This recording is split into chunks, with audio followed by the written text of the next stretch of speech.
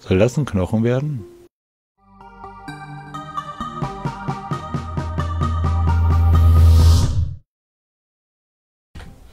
Hallo und herzlich willkommen zurück zu einer neuen Folge von Truth.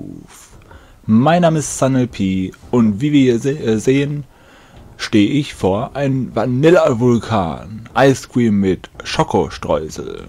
Guck mal, der da oben, da saß schon mein Raptor schon drauf. Wir wollen uns heute den Livestream, ach den Livestream, die Patch-Notizen äh, von morgen, von gleich, von heute, je nachdem, eigentlich ja in weniger als zwei Stunden beginnt der Patch und endet bis zu drei Stunden danach. Wir hoffen einfach, dass das wieder nur anderthalb Stunden dauert, dann wäre es richtig geil. Wir sind wieder am Berg der Erkenntnis und dann wollen wir uns jetzt den Patch-Notizen widmen. Der Patch ist alles andere als das, was man erwartet hat. Er ist eigentlich für Neulinge und für alle anderen relativ lahm. Kann ich schon mal vorwegnehmen einfach. Das heißt, wenn ihr erwartet hattet, dass die Neon Wings rauskommen, dass vielleicht die Pembox rauskommen und so ein Zeug alles. Ja, dann könnt ihr eigentlich wieder ausschalten. Denn alles das, was kommt, ist das Tutorial. Und zwar kann man mit Schrägstrich Tutorial wieder zurück zum Tutorial gehen, dann äh, kann man alles das, was man eigentlich verpasst hat, nochmal lernen. Das ist doch geil. Das Tutorial habt ihr vielleicht im Livestream gesehen, falls ihr dabei wart. Wenn nicht, dann seht es dann ab dann, wenn ihr es wollt. Müsst ihr nicht, kann man machen. Es gibt auch dann neue Pop-ups, die, auf, äh, die aufblinken, die dann ein bisschen was erklären. Wenn man das Spiel schon länger gespielt hat, dann wird da nicht viel Neues drin stehen. Ansonsten natürlich für Neulinge, falls du jetzt also äh, angefangen hattest, also genau du Zuschauer, und dachtest dir, boah, das Spiel fing so scheiße an, da habe ich schon keinen Bock mehr gehabt. Jetzt vielleicht ist es besser. Denn jetzt kommt es, das Tutorial. Endlich mal so, dass man dann auch versteht, äh, was man machen muss. Aber wir werden uns das mal angucken, denn ich weiß ja nicht, wie, äh, ja, wie ausgefeilt das insgesamt ist. So, dann natürlich sehr wichtig, Winter geht weg, Falls ihr keine Chestnuts mehr habt oder angebaut habt, die werden jetzt demnächst teurer, denn die kann man nicht mehr anbauen. Bis nächstes Jahr. Also eigentlich nicht nächstes Jahr, sondern bis Ende des Jahres wieder, bis wieder Winteranfang ist. Und äh, in dem, dementsprechend werden halt neue ähm, ja, Frühlingsblumen verfügbar sein. Außerdem der Hub wird wieder bearbeitet und sieht nicht mehr nach Schnee aus. Äh, Glim kennt er ja auch. Glim war ja doppelt so viel die ganze Woche. Ich hoffe, ihr habt genug gefarmt, habt euch die Allies alle geholt. Denn Glim wird wieder einfach sein, nicht mehr doppelt. Und gerade das ist natürlich eine harte Änderung. Denn ich fand, es war sehr entspannt. Man konnte alles holen. 9000 Glim war eine Stunde rumrennen. Wenn man weiß wie. ähm, ja, was mich sehr glücklich gemacht hat, ist, dass die, die Zeit zwischen Tränke, also ne, wenn man Q drückt, ja, vielleicht nehme ich andere, eine andere Portion, die funktioniert nicht, wenn man, so dann halt die jetzt. Und bis man irgendwas anderes machen kann, das dauert zu lange.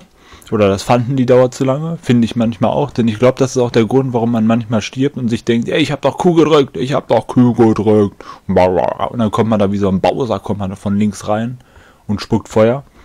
Und jetzt es, äh, äh, äh, wird es dann vielleicht besser werden, wenn diese Zeiten dazwischen, zwischen Trinken und irgendwas anderes machen, reduziert wurde. Und vor allem, es wurde nicht nur reduziert, sondern es wurde sehr stark reduziert. Das heißt, wahrscheinlich wird die Flasche nicht mal mehr überhaupt irgendwelche Verzögerungen haben. Dann, vielleicht kennt ihr das, wenn ihr äh, auf so einer Karte schön bis zur anderen Seite lauft, also jetzt nicht so eine kleine Karte, sondern so eine äh, Multiplayer-Karte, ihr lauft die ganze Zeit immer irgendwo hin und oben links ne, sind die FPS, die sind jetzt bei mir schon wieder auf 23, weil ich das Spiel zu lange gespielt habe. Es ist nämlich nicht, äh, es ist nämlich so, ich starte immer mit 60, na gut, jetzt habe ich 23, weil äh, ich aufnehme und höchstens 30 möglich sind bei der Aufnahme.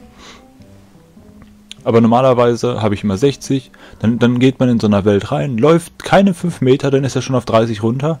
Und spätestens nach einer halben Stunde bin ich bei 15 Frames, vielleicht auch 10 so dazwischen. Und wenn ich noch eine halbe Stunde rumrenne, dann kann ich die Bilder mitzählen. Und äh, ja, das nervt mich natürlich. Dieser das wurde anscheinend gepatcht. Ich hoffe es einfach, denn es ist so nervig, ständig reloggen zu müssen, nur weil die FPS im Keller sind. Und das vor allem in dem Spiel hier, wo nicht viel gerendert, also es wird viel gerendert, viele Blöcke. Aber naja, wenn man sich hinter der Render Engine, mit der Render Engine auskennt, weiß man, dass hier nicht wirklich viele Blöcke gerendert werden. Und vor allem habe ich ja dann 60 Frames und auf einmal 5, 6, dann denke ich mir, what? Naja, auf jeden Fall geht's weg. Ich hoffe einfach. Natürlich werden die neuen Pinatas rauskommen. Ich hoffe, ihr habt euch jetzt die äh, euch eingedeckt mit Winterpinatas. Ich hatte nicht die, äh, ich hatte zwar auch welche genommen, aber ich habe immer noch das Pad nicht oder das Mount nicht bekommen. Aber ich habe ja eh bei sowas überhaupt kein Glück. Ne, das ist ja schrecklich. Ich habe glaube ich auch nur aus insgesamt 15 von diesen Pinatas äh, ich glaube, ein oder zwei Winterrezepte und ein irgendein Winterstab rausbekommen. Das heißt also, eigentlich habe ich voll ins Klo gegriffen und hänge dann noch mit der Hand drin. Und von der anderen Seite, also an den Finger, fängt an so ein, so ein anderes Monster einfach dran zu ziehen, weil ich komme da nicht mehr raus. So scheiße ist das gelaufen hier. Aber ich hoffe, ihr hattet mindestens Glück. Ich habe ja auch gehört, dass manche einfach daneben standen, zufällig AFK gegangen sind, kommen wieder und gucken, ey, guck mal, ich habe so ein Ding in, unten drin. Naja, ich habe durch andere Pinatas, glaube ich, das Beste, was ich bekommen habe, war gar nichts, glaube ich. 10 Flux, die ganze Zeit 10 Flux kleben, ne, Infinium kriegt man raus, okay. Aber auf jeden Fall nicht der Hammer. Chaos-Kisten werden wieder neu geordnet und also ne, neu befüllt mit anderen Sachen. Und zwar könnt ihr ein Dance-Pad und die zwei Kostüme Sharpshooter und Blood Knight könnt ihr da rausbekommen. Die werden also auch noch nicht zur Verfügung stehen. Anders als in diesen äh, Chaoskisten. Hier in Clubwelt können jetzt dann nach dem Patch 60 Mann rein. Schon wieder eine Erhöhung. Die haben wohl festgestellt, dass man das noch erhöhen kann. Mich würde das auch nicht stören, wenn ihr so 60 Stück rumrennen. Ist doch ganz cool. Vor allem, na gut, unsere ist jetzt noch relativ klein. Ich drücke mal die falschen Tasten hier. Aber so in größeren Welten, warum nicht? Ähm, dann, das muss ich zeigen, das ist wichtig. Da muss ich dann einmal da hinten hin. Das erzähle ich also gleich weiter. Dann kann ich noch sagen, der Candy Barbarian wird, äh, deren Sounds werden ein bisschen abgeändert. Wir wollen uns das einmal angucken, denn vielleicht wird er dann noch cooler. Uhu, ich mag ihn ja. Meine Candy Barbarian, äh, mein Candy Barbarian Doktor. Oder Doktorin. Komm, schnell. Schnell.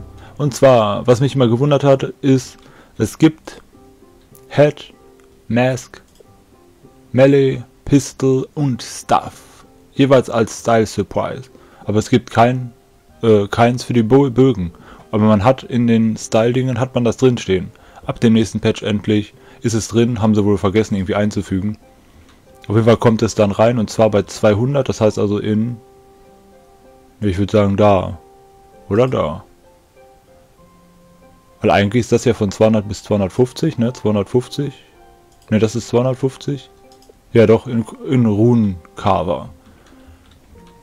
Also Runenschnitzer, da kommt das rein. Außerdem gibt es neue Musik für den Ozean. Und die komischen Jump Sounds, die wir uns jetzt mal anhören können. Achso, die werden verändert.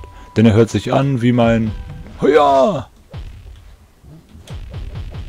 Nur, dass ich den viel öfter machen kann. Seltsamer Sound, seltsamer Hund. Hat er da was im Mund? Soll das ein Knochen werden? Naja. Vielleicht ist das ein Reißverschluss.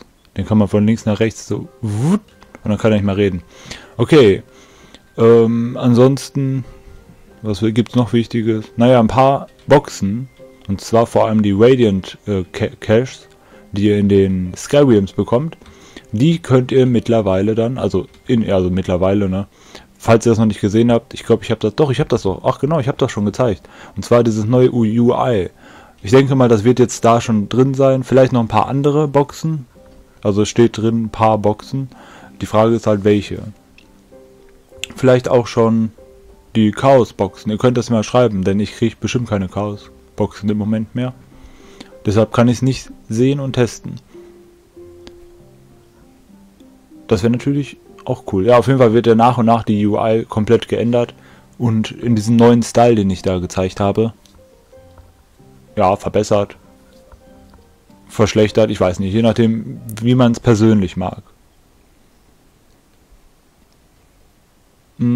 Dann ist vor allem noch eine Kleinigkeit, und das ist dann auch schon leider alles, deswegen habe ich heute so ganz ruhig, wenig Action. Denn der Patch war nicht viel. Ich habe das jetzt auf 12 Minuten hinausgezögert, damit die Folge nicht ganz so kurz ist. Und ihr euch denkt, was, nur zwei Minuten? Der Patch läuft nur drei Stunden oder halt anderthalb. Und so habt ihr mindestens gleich 15 Minuten rum. Bis ihr könnt, dann könnt ihr schon mal gucken, ob es wieder angeht, ob ihr schon wieder reinkommt. Ja, und es gibt noch äh, neue Sounds, und zwar für, wenn man trifft und wenn man getroffen wird, dann kommt der gleiche, du, du, dieser ne, Schlagsound. Und der wird jetzt äh, getrennt, also wenn man getroffen wird und wenn man Schaden austeilt, die werden getrennt, die beiden Sounds, oder es kommt ein neuer dazu. Äh, damit man das merkt, wenn man selber Schaden bekommt und andere Schaden bekommen. Ja, das war jetzt einfach der ganze Patch, der ist halt schon ein bisschen ernüchternd. Man hatte Hoffnungen, ich wollte die neuen Neon Wings haben. Ich meine, die sind alle schon implementiert. Ich frage mich, warum die die nicht einfach freischalten. Denn die neuen Mounts, die zwei neuen Pemborg und Infinium Pemborg, auch die wurden nicht angekündigt. Ich bin, ich bin echt gespannt, ob die einfach nur vergessen haben, in den Patch-Notizen das zu schreiben. Oder ob die sich gedacht haben, ach, wir warten noch ein bisschen, machen wir nächste Woche mal so einen riesen Patch wieder. Ja, dann würde ich sagen, wir sehen uns in der nächsten Folge von True. Ciao.